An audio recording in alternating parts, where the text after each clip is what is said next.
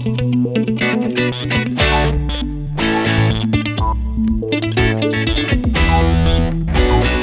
hiya kang bata ka. Sinuway mo ang pagtitiwala namin sa'yo. Sinunod namin ang lahat ng layaw mo. Ito pa igaganti mo sa amin? Ang dungisan ng pangalan natin? Ano na lamang ang sasabihin ng mga amiga ko? May anak akong disgrasyada? Hindi mo man lang naisip ang katayuan natin sa alta sosyedad? Papa, Mama, patawarin niyo na naman ako. Inaamin ko naman nagkamali ako pero talagang mahal ko siya eh. Mahal. Ikaw, mahal niya? Gaga! Tandaan mo to. Mula sa araw na to, hindi ka na makatutuntong sa pamamahay na to hanggat hindi mo hinaharap sa akin ang lalaking dumisgrasya sa'yo. Tandaan mo yan, ha?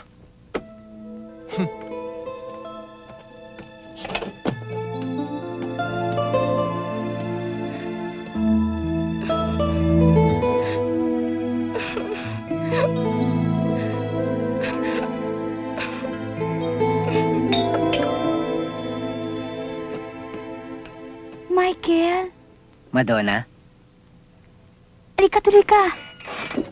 pinapatawag mo raw ako. Oo nga. Eh baka magalit ang tita si Indy mo eh.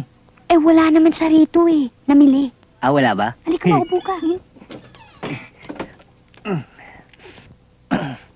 Bakit ba? What's wrong? Is anything the matter? Michael, meron akong mabigat na problema Anong problema yan? tungkol sa pagdadalang tao. Ang ibig mo sabihin, pati ikaw? Yun na ba uso ngayon? Hoy, Madonna, ah, huwag kang magpapakamatay. Ano magpapakamatay? Ano mga pinagsasabi mo? Ba't naman ako magpapakamatay, ano? Sabi mo meron kang malaking problema. Nagdadalang tao ka kamo. Sinabi ko bang ako? Si Tina ang tinutukoy ko. Ah, si Tina. Alam ko na yun. Bakit? May nangyari na naman sa kanya? Pinalayo siya ng parents niya. At makakabalik lang siya sa kanila kapag dinala niya doon si Ricky. Ano problema? Eh di iharap si Ricky sa mga magulang ni Tina. Eh yun nga ang hirap eh, dahil nagtatago si Ricky. That's a very, very big problem. Michael, tulungan natin si Tina. Kawawa naman siya eh. Madali yan. Ako ang magpapanggap na Ricky. Hmm, siguro naman sa itsura kong ito eh, hindi kami nagkakalayo ni Ricky sa ganda ng lalaki. At sigurado ako, tatanggapin siya ng kanyang mga magulang. Remember that. Put it in your mind. Magagawa mo yon, Michael? Bakit hindi? Kaibigan mo si Tina, o di kaibigan ko na rin. Dahil ang kaibigan mo, ay kaibigan ko na rin. Kung sino ang mahal mo, ay mahal ko na rin. In other words, friends of yours is friend of mine. Love of yours is love of mine. Ay naku, maraming salamat, Michael. Halika, punta na natin si Tina. Right away! Capital P-U-C. Right away! Tara!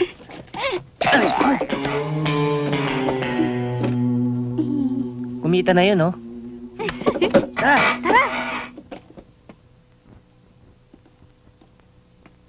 Papa, Mama, Baka hindi tayo papasukin. Ang sabihin mo, baka lumabas ang daddy ni Tina na may daladalang Armalite at pagbabarilin tayo rito. Tina, anong ginagawa mo rito? Hindi ba't sinabi ko sa'yo na huwag ka magpapakita sa akin hanggat hindi mo inaharap sa akin ang lalaki na bisgrasya sa'yo? Sino siya? Mga kaklase ho kami ni Tina. Mr. Minimbol, Mr. Jack Bickwick, papapasukin mo ba kami o we will jump over the candlestick? Pwede ba? Come in. Thank you for you and happy condolence. Teka, di ba yun ang tatay ni Maricel Axa sa ganda babae, ganda lalaki? Kasali ako doon. Alam ko, Oh. cutie. pasok na, Ututino.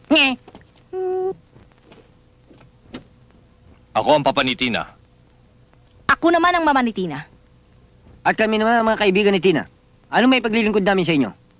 Nakahanda kami sa lahat ng oras para sa aming kaibigan. Anong pinagsasasabi nyo? Bahay namin to ah! Bakit? Inaangkin ba namin? Kaya kami narito para lutasin ang problema ni Tina. Malulutas lamang ang problemang yan.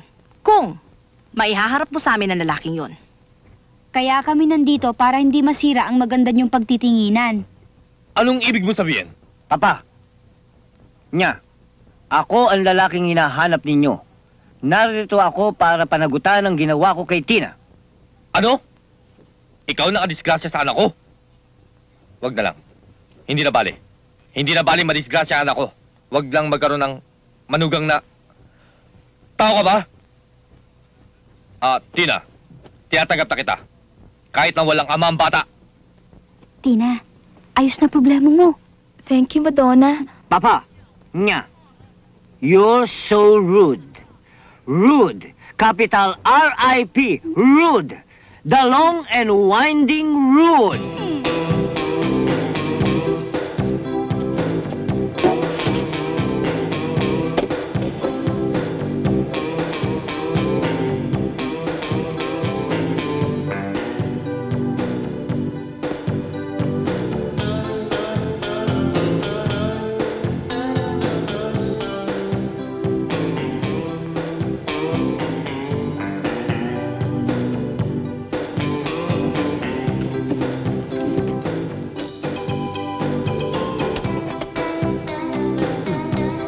Dami ni Sir Neto?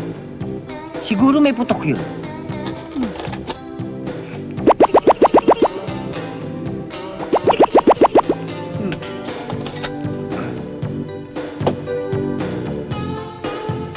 Siguro andito yung mga test paper. Makikita ko.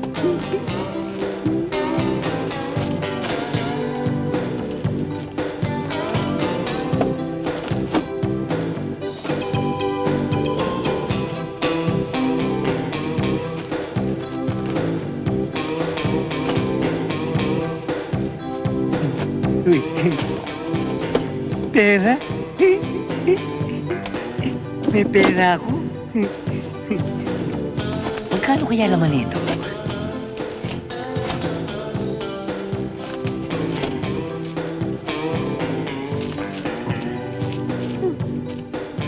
May deodorant na? Meron pang tawas? Sobrang naman lakas ang putok ng taong yun.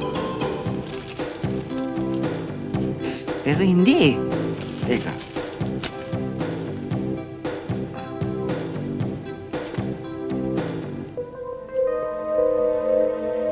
Shabu? Wow, pare! Heavy! Peace, man! Peace! Walang yung tao yun. Si Sir? Drug pusher? Ba, hindi mo akalaing pusher pala yung taong yun. Ito na ang malaking pagkakamaling nagawa mo. Bakit to? Dahil ito na ang katapusan mo. Ako? Tapos na? Ang ibig niyo sabihin, sir, gagraduate na ako? Thank you, sir, ha? Talagang gago ka. Nag-graduate ka patungong impyerno. Nye. Impyerno? Dito na ang papuntang impyerno, no? Nye. Habulin nyo! Ako, ba't ka pumapasok dyan? Ikutin nyo! Dali, dali!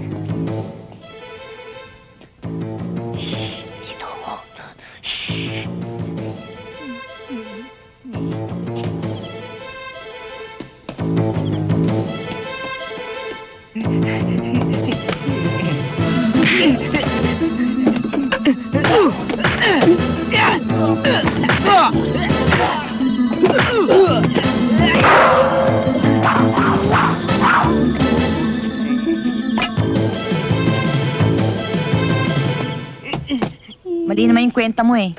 Kulang ng piso. Paano nagko... Eh, mali naman yung tultok nyo eh. Saan ako tutuldok? Dito.